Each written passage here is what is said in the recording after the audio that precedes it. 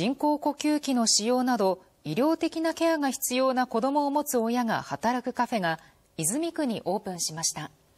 子どもの世話で社会とのつながりが少なくなる親の孤立を防ぐ取り組みです。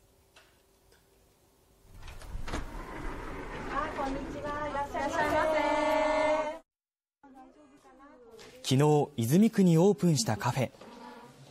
働いているのは医療的なケアが必要な子どもを持つ家族です。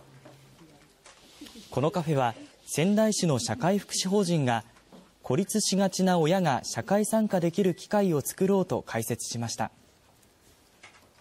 お母さんたちが働きたいけれども働けないという状況をずっと聞いてきました。で何とか働く場所を作れないかということでこのカフェの企画につながりました。カフェで働く一人草加彩さん。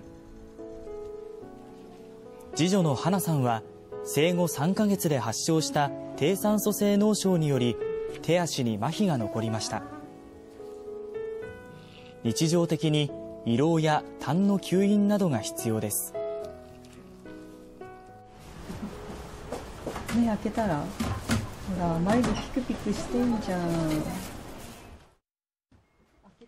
草加さんは週に1日花さんが学校と施設に通う間にカフェで働くことになりました。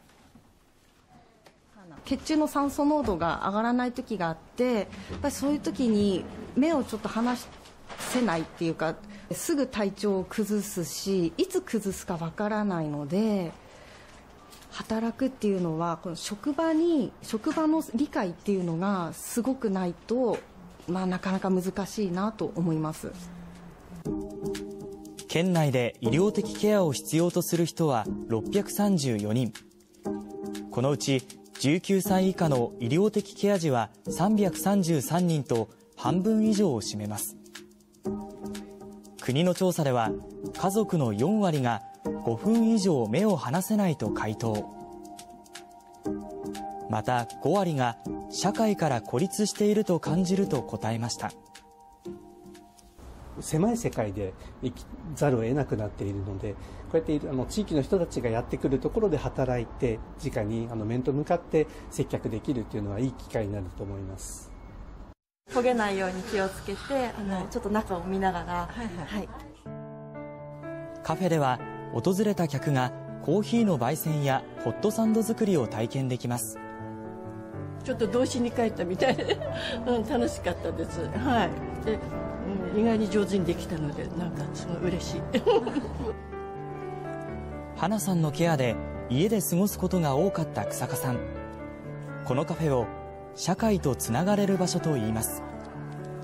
家族だけで過ごすのとは全く違うのでこう社会が広がるというか